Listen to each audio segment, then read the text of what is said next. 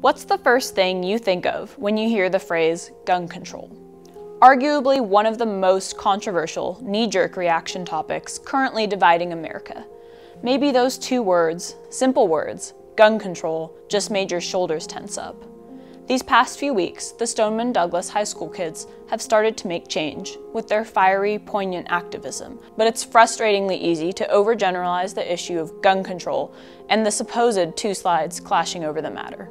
In 2018, as of March 6th, there have been 39 mass shootings, and in total, there have been 2,533 gun related deaths, whether that's domestic violence, mass shooting related, police related, etc.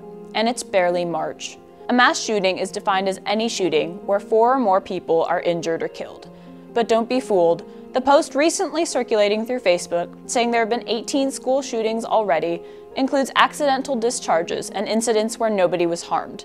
And as much as I hope that I look trustworthy and smart, you should still take the time to do your own research on topics that matter to you, including any statistics that you hear from me or anyone else. Roughly 60% of Americans want stricter gun control, according to a recent Gallup poll. Considering all the anguish and death, why are so few bills being passed, and some of those being repealed?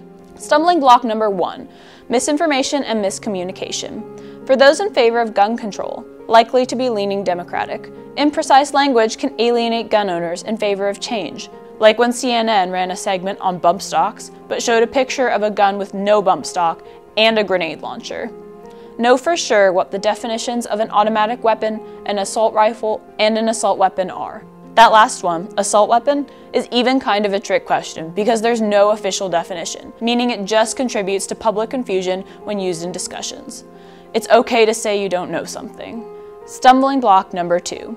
The National Rifle Association started out a good idea. They do safety trainings and sponsor college shooting competitions. But they also do propaganda and super PACs, contributing millions in the most recent election cycle opposing Hillary Clinton. They are similarly involved in state level elections. What can you do about this? Change starts with small groups of dedicated people. America doesn't have to keep trending toward an oligarchy. So if two of the main factors preventing change are misinformation and a large, filthy rich organization, that gives rise to two things you can do right away. Inform yourself. Talk to someone with an opposing viewpoint. They probably aren't as extreme as you'll go in thinking, as I've found time and again. The most radical people yell the loudest. Not necessarily a bad thing, but something to keep in mind.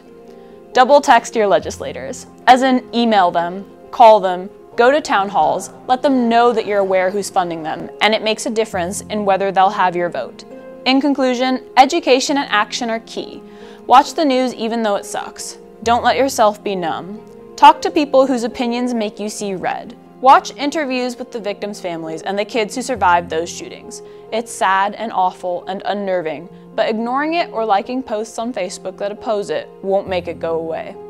Inaction leads to exhaustion and frustration. Make America think again.